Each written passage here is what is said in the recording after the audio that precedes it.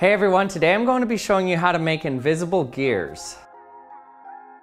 What I have here is a steel plate where I've stuck neodymium magnets all around it, and they're alternating from north to south. So if I were to turn this, it would create an alternating north and south magnetic field.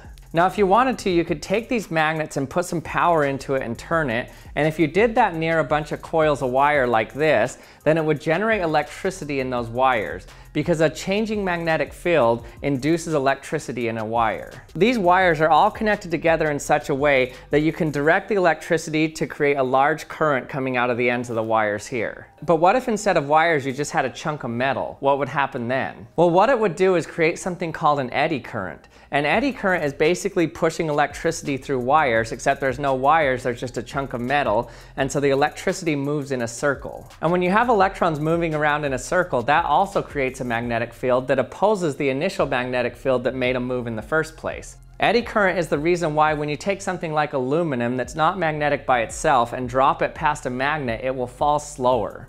So you can see how slow this big chunk of aluminum falls near my giant neodymium magnet. So let's see what happens when we don't allow the conductive material to move. I have a coin here and I'm gonna spin these magnets below it and put the coin near it. Normally what will happen is it'll try to push the coin out of the way. But if I glue the coin down to something and don't let it move, then it can't push it out of the way. And so the electrons are just gonna swirl around in a circle and create a lot of friction and heat it up. Let's see if we can actually boil water on this coin here just by letting the magnets turn below it. So notice how the plastic doesn't get hot.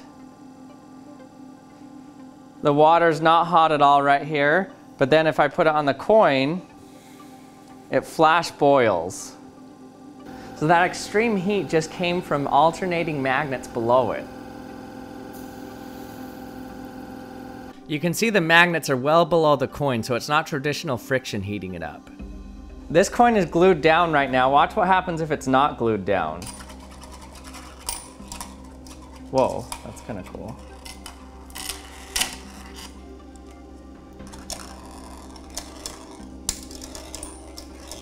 Whoa. Uh-oh. Ow!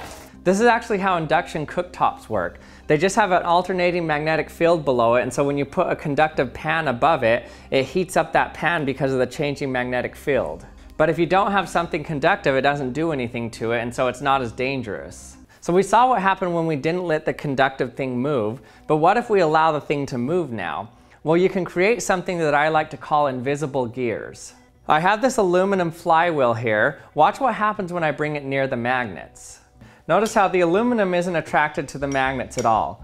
But watch what happens when I spin it.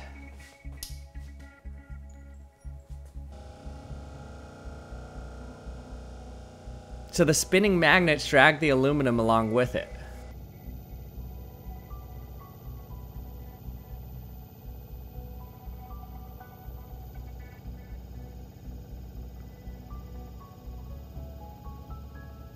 Now let's actually use the magnets to turn this flywheel, which will turn this fan here.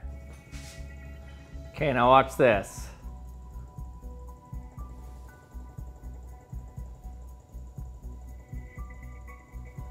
Okay, there we go. We got our eddy current powered fan here. There's a ton of space above there, and it's still able to spin just fine.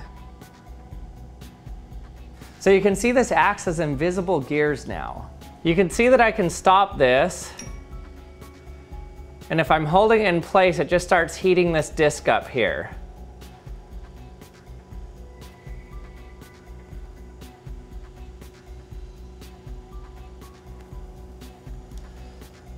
So I'm not gonna break any gears this way. It's a very loosely coupled gear.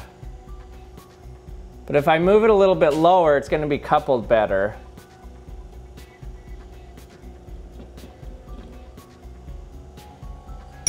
Whoa, whoa, whoa, whoa, whoa.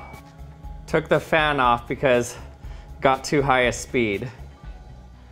This, this has some really good torque now.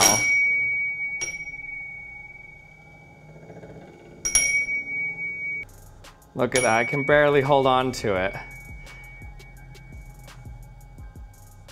Ugh.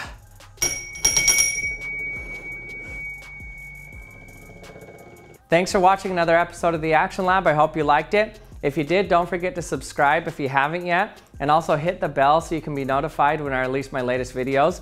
And check out Action Lab Shorts, which is the second channel I have where I do videos similar to this channel, but I do them in less than a minute. And thanks for watching, and I'll see you next time.